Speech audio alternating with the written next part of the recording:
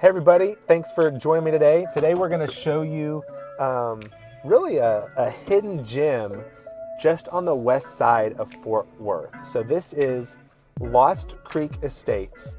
Um, it's a, a neighborhood of a little over 500 homes. So, I mean, it's good size, but it's not huge. And something I actually learned about it uh, today, actually, was that there was a golf course out here. So, Lost Creek Golf Club, you'll see uh, a fairway right over here.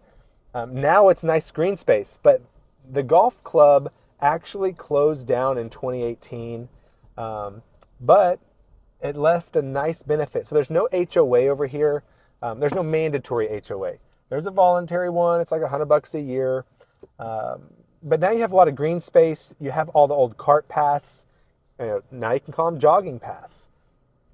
Um, and so this, all these fairways are now just green space. There's a lot of homes that back up to them. I'll be able to point them out um, in a little bit as we drive past. There's a pond over here. In a little bit, we'll drive past the old clubhouse. And um, it's just a really neat, secluded little neighborhood. There's one entrance in, one entrance out, and lots of, of courts and cul-de-sacs in the neighborhood. So yeah, you can see those homes on the right back up to a fairway. We're coming up to kind of this entrance of, you actually see the golf club sign, the old uh, clubhouse over there to the left. And then as we go over here, you're going to see just a big uh, fairway over here on the right side as well. So these homes really are really neat. Um, just some information about the neighborhood. Like I said, a little over 500 homes. You've got an average lot size of about 0.3 acres. And most of these homes were built between the mid 80s and the early 2000s. Now, there's some were built in the 70s, there's a couple. And then I'm actually going to drive you through a section of the neighborhood that has homes that were built um, after the 2008 crash. So these homes are all probably about 10 ish years old max. Um, I saw some homes that were built as recently as 2018, and um, but I think they kind of started building around 2012, 2013. So you've got these nice homes over here, and you've got another fairway and uh, golf cart path over here. So we're going to cut through here, and one of the, you know, some people will love it, some people will have strong opinions against it, but this is a pretty hilly area. So you get homes with a lot of character, um, a lot of man. That, that, home way up there, it looks like a like a burn watchtower in a in a forest, right? But you've got these homes built on the hill. You've got retaining walls, and we're going to keep going this way. So we're going to take you to the back, one of the back corners of the neighborhood, where, like I said, all the newer homes are built. And one thing I do love about this neighborhood, especially, is the side entry. Most of these are more like a, a swing entry, so it's kind of like a, a, side entry but pushed forward, as opposed to like a rear entry or a true side entry. So you've got a couple of, you got some unique properties too. You kind of got this like mid-century modern style right here. The flat roof, the, the, the rooftop deck over here. Then you've got kind of this like early 2000s style. And up here, straight ahead, you're going to see these newer homes that are all built in the, you know, the 20 teens. Like I said, probably most of them between 2013 and 2018. And so this street we're on, or coming up on Knoll Ridge, this is the the back edge of the neighborhood um, on the west side. So this is just uh, maybe privately owned land behind the neighborhood over here. So it's still green space. Uh, it's not an old fairway, but it's green space. You've still got some infrastructure improvements. I wonder um, if some of this could be like um, fiber optics or something going into the neighborhood. So currently, I know that AT&T is the primary internet provider out here. It is not fiber optic. It's actually a, um, it's the same speed I have in my my my neighborhood, about 75 megabytes. But some of that equipment I see looks like it could be uh, infrastructure upgrades. So over here on the left, you're going to see some like, you know, Spanish style homes. You've got the tile roofs. On the other side of these homes is, a, is a, another fairway. Can't tell you the, the hole number. Um, but one other really cool thing, so, so going back to the actual homes and home ownership over here.